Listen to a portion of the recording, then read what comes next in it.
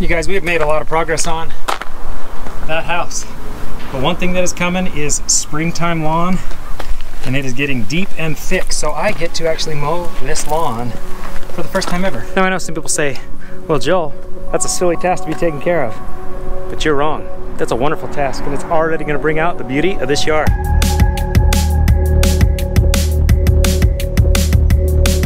For the day, my dad and I are going to be cleaning up the remnants of see in here. And uh, it has been so nice having my dad help me with this project, to be honest. He says it's helping him, but he is helping me a lot more. We have to make sure that we read instructions really good. And there's three of you and one of me, and you're all different grades. So we'll just take it one thing at a time. So I have a chemistry test in here. It's not my forte, but we'll see how that goes. Okay, so everybody gets one pencil. Don't mind oh, me. So, what we're gonna do is I Did you see her look back at me? She's like, you're recording.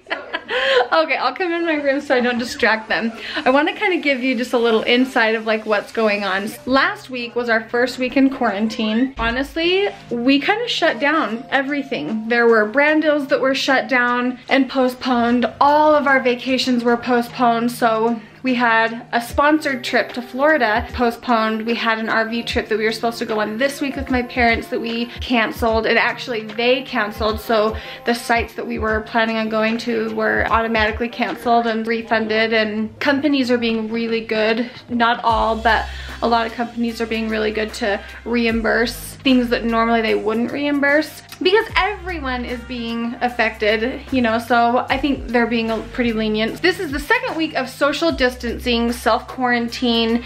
Like I said, the first week we just hunkered down. We didn't do anything. I didn't check emails, like life was shut down.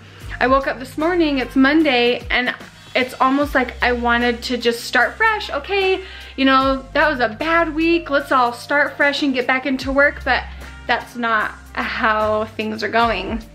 In fact, Bree showed up this morning to work and she said that her brother-in-law is being sent home from his mission because they're, you know, they're just sending planefuls of missionaries home. That's kind of heartbreaking. I know this is just kind of like a sit down and I hope it's not like boring, but I just kind of wanted to let you guys know what I'm thinking and what I'm feeling and kind of how things are actually going. And if you're wondering, you know, well, why is Bree coming into work? So Bree and I sat down together and I said, you know, what do you want to do here?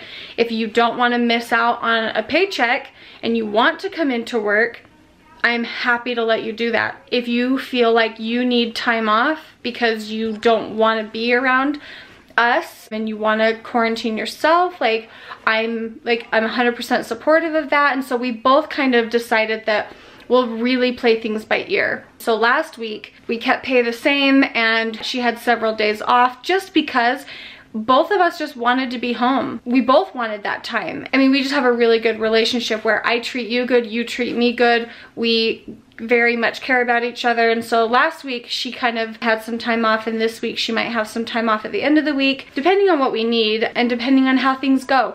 Things change day by day and so we're not really sure about that. But there's things that I have neglected that now that the initial shock of everything is over and we're learning what the new normal is, I'm jumping back in, not jumping back into things because we're making some major changes and I will, I will not go back to over planning myself where I'm going to make some big changes in my life and I think that this was a really big push towards those changes. There is a pile up of things and so today I went into the grocery store which was kind of weird. Like I was like, uh, I don't want to go to the grocery store, but I did and I was able to get a few things and I wanted to share just like a tender mercy.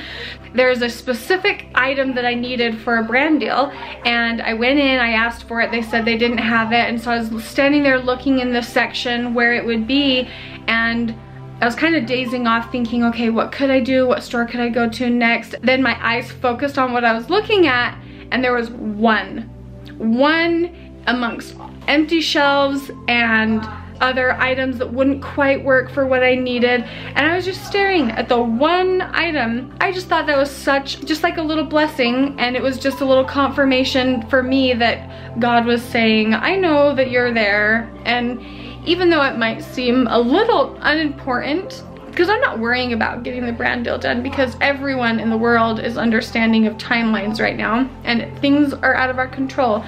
But as so many people are out of work, and even like with YouTube, I don't know if you guys know this, but maybe I'll tell you, is the amount of money that you make per like view or whatever goes up and down depending on like the economy. And so right now we're seeing the effect that what we would have been making before all of this happened is much less. And so it does affect us, not the way it affects people that are losing their jobs. We still have a job, which I am so deeply grateful for.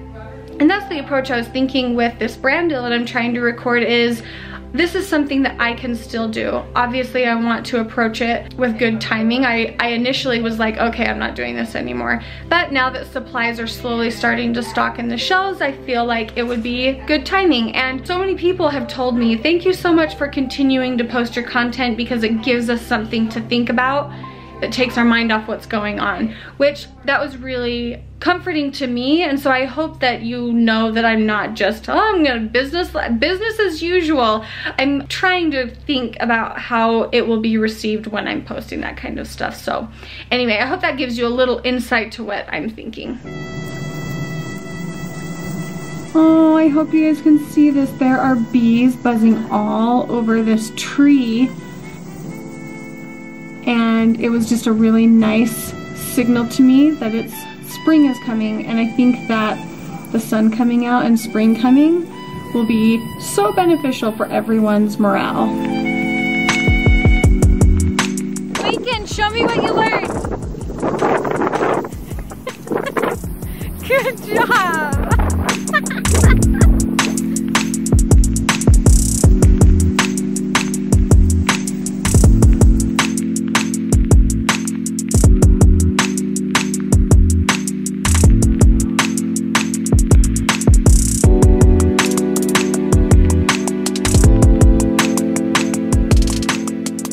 Promised the kids if they did their homework, if they did their piano practice, and they were good kids, we were able to come to the park. So,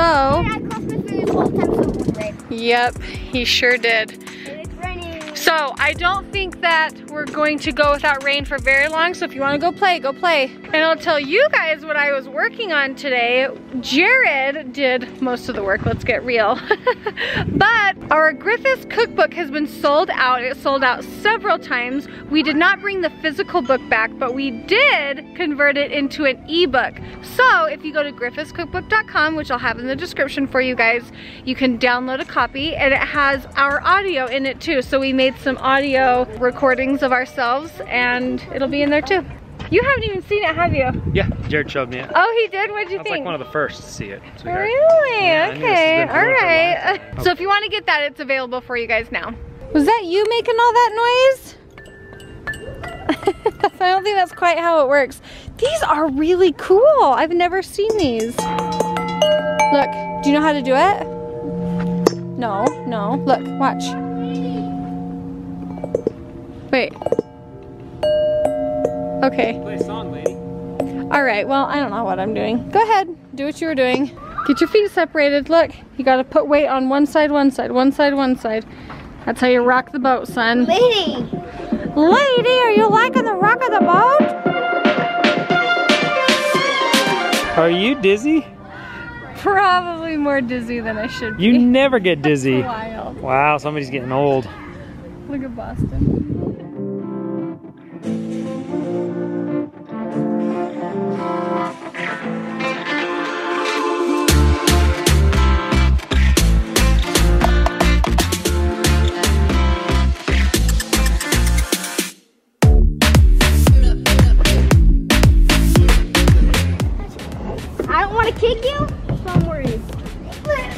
That's a tall slide, bud. All right. Good job. If you like this video, go ahead and give it a thumbs up. If you're new to our channel, please subscribe. It's free. Click that notification bell if you want to be notified when we upload our videos.